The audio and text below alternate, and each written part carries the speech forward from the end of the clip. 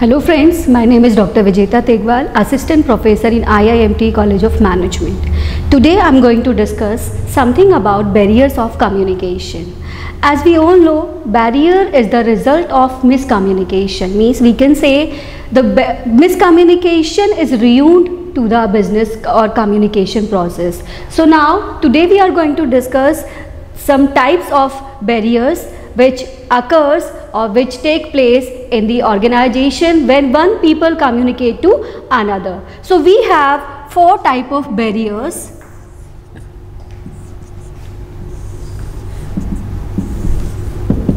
Number one is semantic barriers.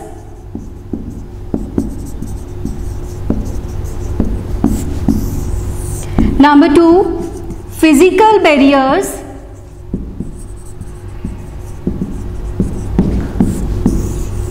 Number three, organizational barriers.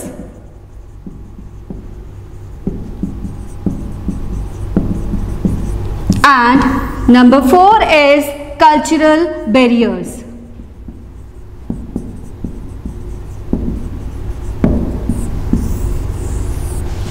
Now we will discuss one by one each and every barrier which occurs in the organization when communication take place.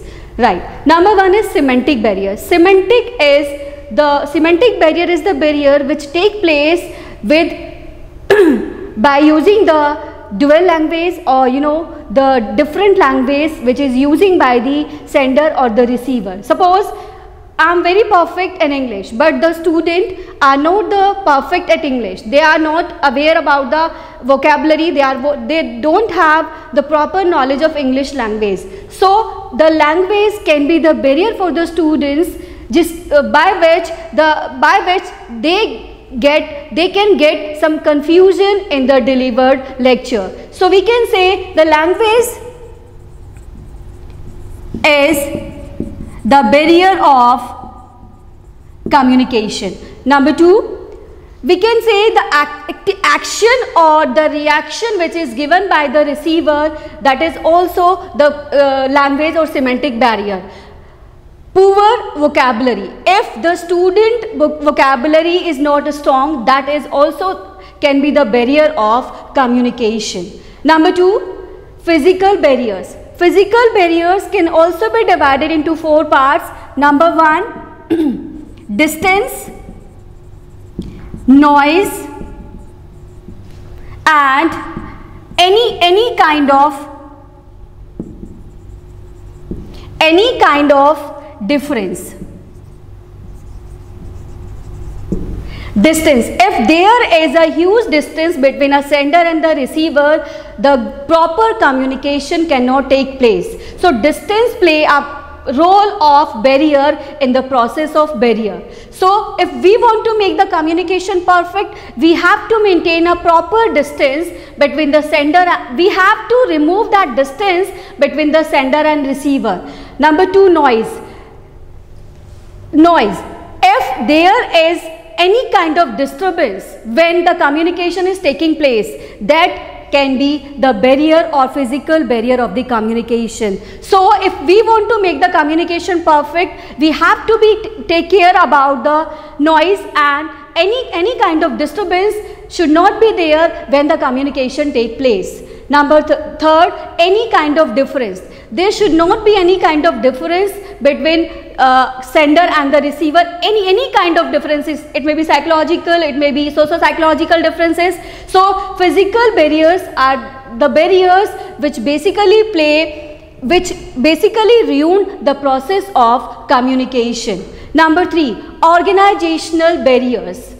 Organizational barriers are again divided into some parts. Means number 1 is channel means which type of channel is following in the organization. Are we following the formal communication or are we following the informal way of communication in the organization?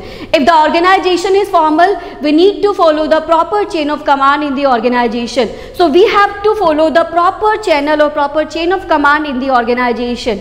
Number two, whether we have to be take care about the way of communication, whether it is formal and informal.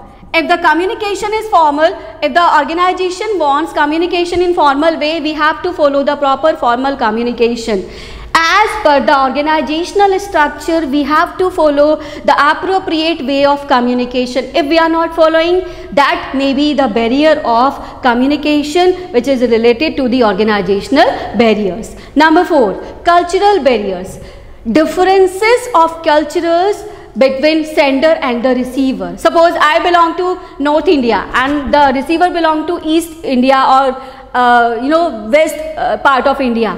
There may be some cultural barriers there may be some cultural differences between sender and the receiver. So we have to be take care about the culture of the receiver. Suppose I am the sender and you are the receiver. So you have to be take care about the cultural factors of you and me also. Because communication is the two way process.